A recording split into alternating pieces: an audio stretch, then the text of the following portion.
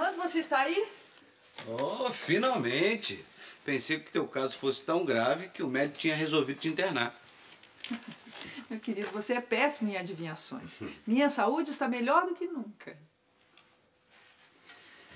Ah, na verdade, eu estou me sentindo uma mulher completa. Como eu nunca me senti antes. É. Realmente você tá com uma cara ótima. Eu nunca te vi tão linda, tão. tão radiante. O que foi que aconteceu, Marta? Já sei. Não tem pedras na vesícula, é isso? Não seja tão prosaico, meu querido. Bom, na verdade, realmente, eu não tenho pedras em lugar nenhum no meu organismo, nem no lugar do meu coração, como tantos imaginam. O motivo da minha alegria é outro, bem mais interessante. Como você mesmo disse, Marta, eu não sou bom em charadas. Então me diz logo, o que que aconteceu? Hum, não, não. Não posso dizer não, mas eu posso te adiantar uma coisa. Eu acho que ultimamente Deus resolveu me dar vários presentes. Eu devo merecer, não devo? Hum, belos presentes. Te botaram pra fora de casa, ameaçaram te internar num hospício. Se não fosse o papai aqui, você tava sem comer até agora. Ai, Armando, não leva tudo tão ao pé da letra assim. Você já ouviu dizer que Deus escreve certo por linhas tortas? Então, é isso, meu querido.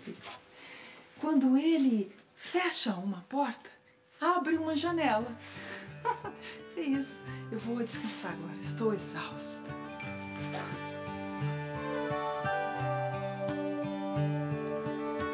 It's amazing how you can speak right to my heart.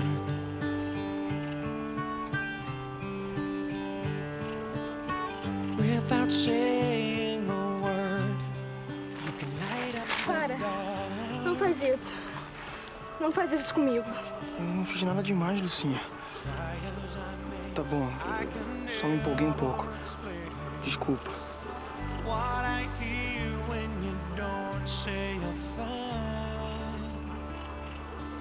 Você tá com raiva de mim? Não, Mas tá chateado comigo. juro que não. Sou muito caipira pra você, né? Não fala besteira, Lucinha. Eu te amo. Te adoro. Sou apaixonado por você e faço o que você quiser. Eu que só tinha que deixar de ser burro e parar de te magoar.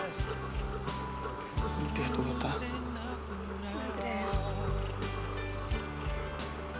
Você é a pessoa mais bonita que eu conheci em toda a minha vida.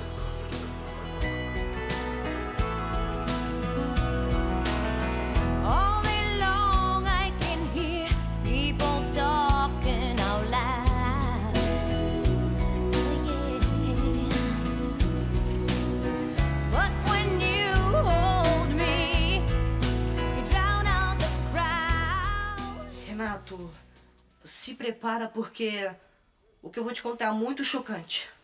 É meio sinistro. Muito sinistro. É, você vai achar totalmente esquisito. Pô, fala logo, chega de onda, Zeca. Bom, é, para começar, o meu pai não era o Beto e a minha mãe não era a Lívia. Eu fui trocado na maternidade. Eu fiquei no lugar do filho dela, no lugar do filho verdadeiro da Lívia e do Beto. O meu pai, ele é um vampiro.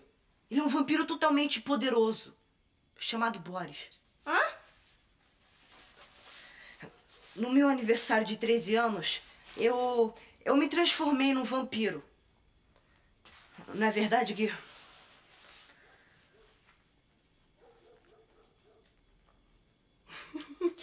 Pô, agora que eu saquei, vocês estão zoando com a minha cara, né?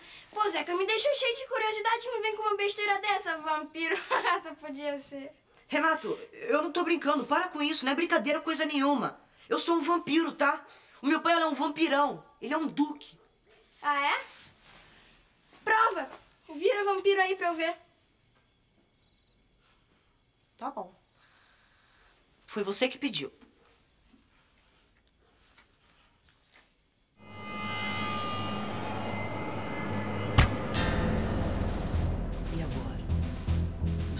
E agora?